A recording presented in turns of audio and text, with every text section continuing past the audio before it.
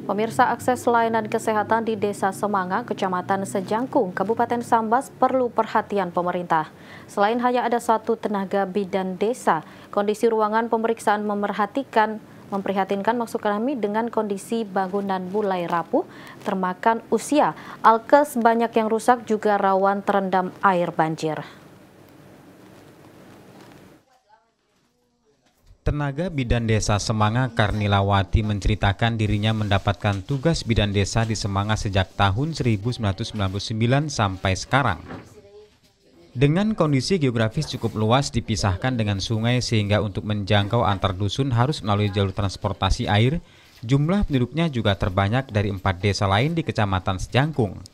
Akses utama menggunakan jalur air karena jalur darat masih belum memadai. Sementara itu bangunan Poskesdes yang sudah dibangun sejak 2005 lalu kini kondisinya perlu perhatian. Selain lantainya sudah banyak yang rapuh karena termakan usia, juga rawan terendam banjir. Plafon juga mulai bocor, bahkan alat-alat kesehatan untuk mendukung layanan kesehatan juga tidak berfungsi dengan baik atau rusak.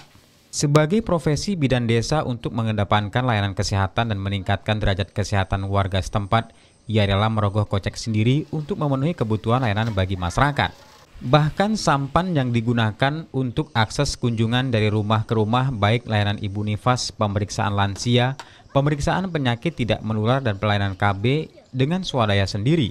Bidan Desa Alumni Kebijakan tahun 2017 ini mengharapkan adanya perhatian dari pengambil kebijakan dalam upaya memberikan layanan maksimal kepada warga setempat, terlebih di wilayah kerjanya sebagian besar karyawan perkebunan yang berisiko tinggi. Tim Liputan TV Kalbar melaporkan. Di wilayah kerjanya